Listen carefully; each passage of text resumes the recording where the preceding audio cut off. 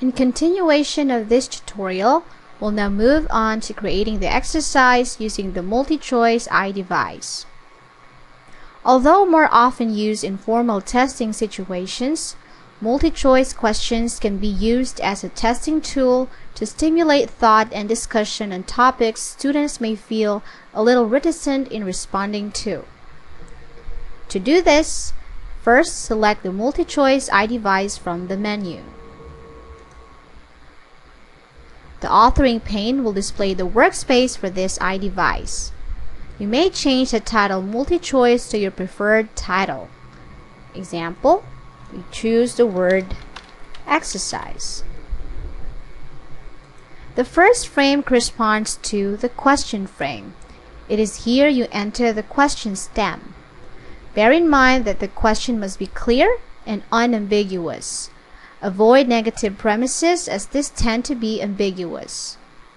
Let's say for this one, we copy and paste from Word application and we will format the text just like a word processing document.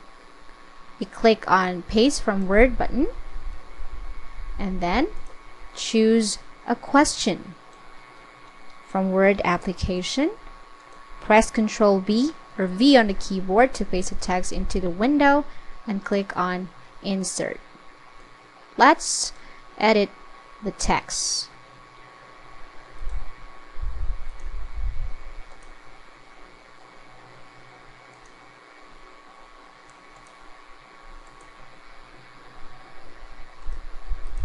The next frame corresponds to the hint. You may just leave it blank if you do not want to provide a hint. Let's say for this question we would not be providing a hint so we'll just leave it blank.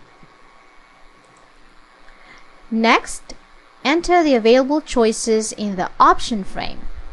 Initially, there is one option box, but you may add more options by clicking the Add Another Option button. Let's say for this one, we will type in the option for the questions.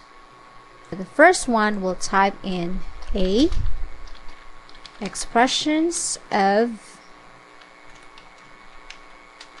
disapproval.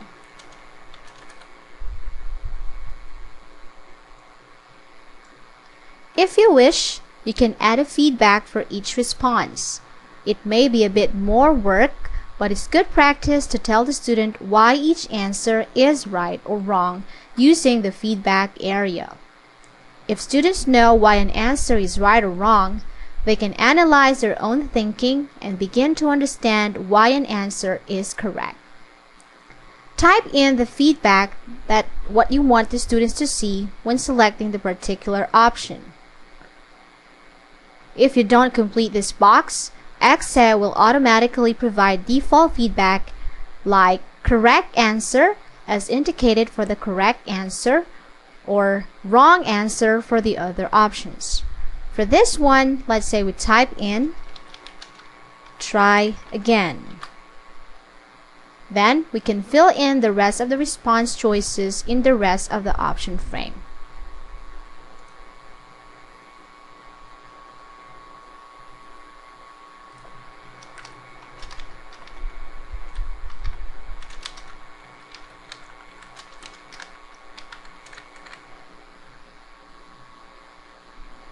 Now, if the choice you have entered is the correct option, tick the radio button on the right of the box. Let's say for this one, the correct option is B. If you choose to delete this option, just click the red X next to the option. Now continue the rest of the response choices.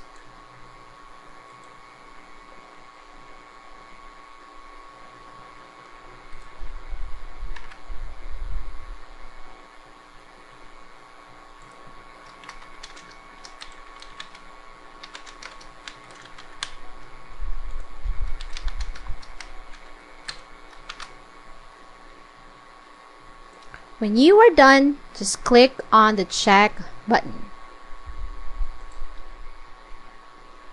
This is how the exercise on multi-choice will look like. If you want to add more questions, just edit and then click on add another question.